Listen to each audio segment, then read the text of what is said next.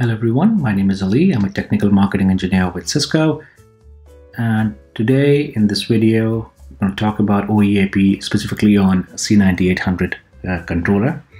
Uh, in my previous video, if you have seen, I talked about the OEAP uh, configuration on AireOS. Uh, this video will be specifically on uh, C9800, which is an IOS XE based controller. So the name Cisco Office Extend Access Point, the uh, Office Extend means that we are seamlessly, seamlessly extending the corporate WLAN over the internet to the employee's residence. So the user experience, you know, he's getting at home is more like exactly the same as he would be getting in corporate office with all the uh, corporate resources available. So communication is encrypted with DTLS and uh, we have an ability to not only broadcast the corporate SSID. OEAP can also do a local SSID for you know for its home users, and which is which is locally uh, terminated on the router.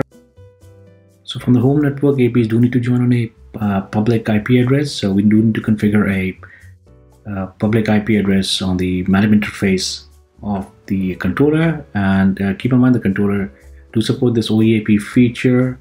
Uh, all C9800s uh, support uh, besides uh, C9800 uh, public cloud version. Having said that, all Wave 11AC Wave 1 access points, 11AC Wave 2, and 11AX access points are supported. So let's start the OEAP configuration and then later we'll configure the NAT as well. So we have some access points joined to the controller C9800. Uh, we go to wireless setup advanced settings. Uh, we'll start and WLAN is already configured. Uh, this is maybe your employee WLAN. You can add if you want another WLAN, but uh, we're going to use the one which is already configured as an employee WLAN. Now for policy profile, again, you can add or use a default policy profile. I, over here, I'm doing a custom. So my policy is centrally switched.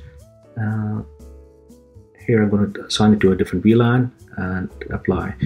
Now, WLAN and policy have already been created. Now I'm going to do a policy tag you can add a new policy tag and the policy tag basically you have to assign a SSID or a policy profile to it. So we created a new one. We gonna define the WLAN profile and my policy profile. You can also do an RLAN but these are uh, APs which doesn't have aux port so I'm not using any RLAN policy here. Then you hit apply. AP join profile is you know all your AP configurations are part of it. So basically, I'm trying to create a high availability.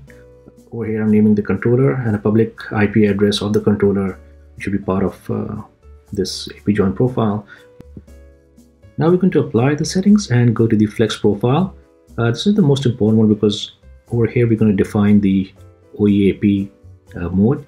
So I'm using a custom profile, flex profile, and defining enabling uh, Office Extend, hit mode, and click apply. Whatever we have policies and profiles we configured so far, we're going to tie to a site tag. So we configure a site tag, we name it, and we'll do an AP join profile, which we already created. Also, we're going to need to disable this enable a local site to have in flex mode and we select the one which uh, flex profile which we already created earlier and hit apply. Now for RF uh, profiles and RF tags, we're just using a default RF profile and default RF tag. So I'm not going to do that, but I'm going to apply all these policies which we created to the access points.